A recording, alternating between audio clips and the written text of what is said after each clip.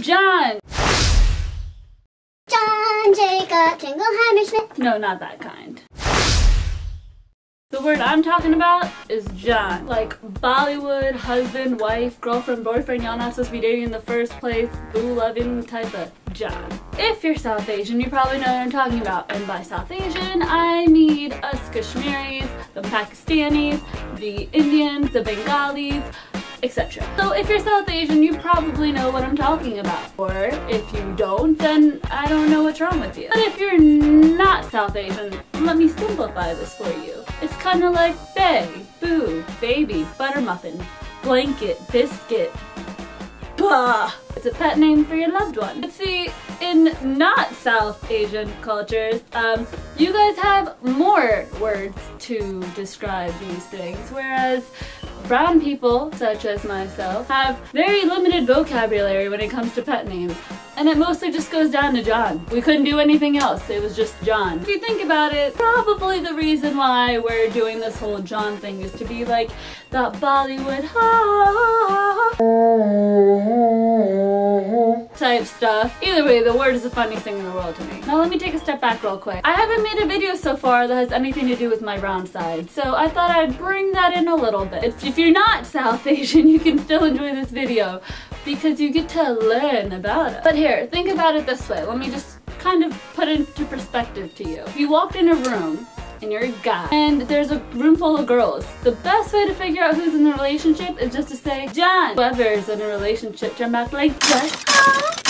Not too loud. I think we could be private about this. Oh, wait, you're not my man. You're just another brown person calling another brown girl because we all have the same pet names. How can we not get it mixed up, you know? Now, using this in context, let's put this into the actual relationship containing the genres. And I call these a genres because there are three specific type of genres that I'd like to cover. Disclaimer, disclaimer, disclaimer. I'm not talking about all y'all. I'm not talking about every brown relationship. I'm not saying all y'all hide it from your parents. Whatever it is, I'm only talking about these three. And if it happens to be about your dad, a little. There's three different types of genres. Well, there's probably a million different types of genres, but the three that I'm going to cover are the ones that mm, I find the most funniest. Funniest?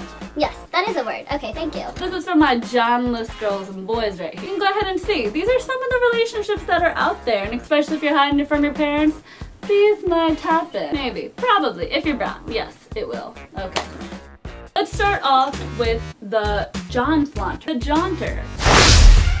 This is a person that flaunts their jaan but the ish real messed up. This couple will make you feel like you are so out of the make you feel like you have the worst relationship no matter how great it is because they'll flaunt every part of it to you. But the thing is, you'll never know how bad it is because you're not seeing it. You can only see what they're showing to you and they like to flaunt their it. One will be like, hey, bring me chocolates. And the other one will be like, well, I just got told to bring chocolates. I should go bring chocolates. When they bring chocolates, it'll be like, Oh my, oh gosh, gosh, look, they're the best person ever. Like, they just surprised me with this. Oh my god, my jaan's the best. They just surprised me with this candy. They're so good to me.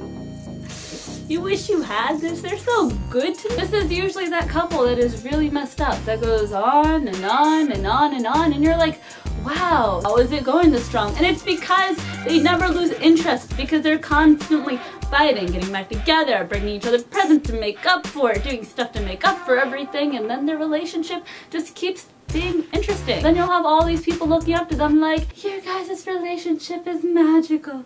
Please teach me to be like you. And they'll be like, oh, you can't have this.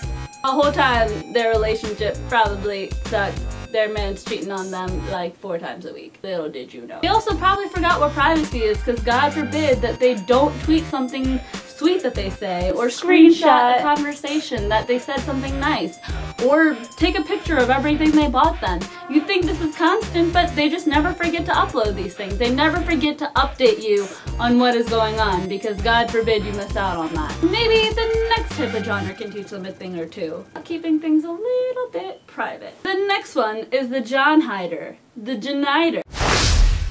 This person swears they love their jaan so much, but you have no idea who it is because they won't tell you. But all it is is that they'll post like half pictures of like half their hand just showing theirs to be like, oh no, what if someone recognizes them by the whole hand? Or by the whole picture even. God forbid you post a picture with them. You can't have it out there that you're dating them. It's super private. Can't do anything about it, but you're still going to put it out there.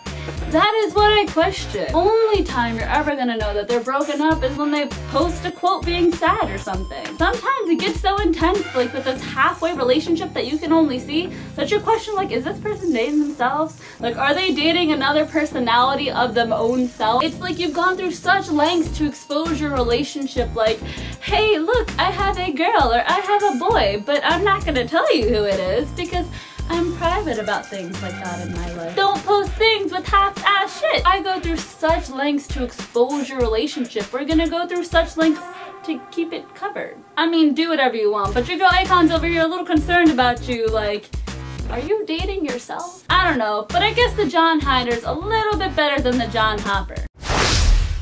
This girl boy has a new jaan about every week, and it just gets to the point where like, isn't your jaan card maxed out, son? In fact, these Jaan Hoppers need to hop, hop, hop into a hole, recollect, and think before they re-enter the world. Like, the next boy I meet is not jaan. Like, it doesn't make any sense. How can so many people be your jaan? God forbid you leave anyone. Isn't there a limit to this shit? Jaan Collector, the Jaan Taster, the Jaan Toucher because this is usually the same person who goes ahead, instead of getting their feet wet into a relationship, they go straight to the deep end. And then a week later, they're like, well, you're not the person I thought you were. Well, maybe you shouldn't gotten time to know them. So because of this consistent mistake, you're like, you're not what I thought you were. Because you didn't know any of them. Sure enough, as soon as that one's over, you're with a new tall glass of water. It's not even like you're a doorknob or anything, if you get what I'm saying. But you're more so just deeply falling in love with all of these people so quickly and then getting your heart broken in the end. Each person becomes your jaan and wow. Just let them be for a little bit. Let your relationship grow. The more it's about to do that, the more you better know them the less things are to go wrong. But if you're any of these things, just know we're here for you. You can contact us at get your shit together at calmyourself.sitdown. If you recognize any of these couples or genres or see them or relate to them or are them, share this. It's okay. You can share it. It's alright. Free. Brown people love free shit. Subscribe if you like this, share it, like it. I'm Ayeekhan, and until next time, I love you.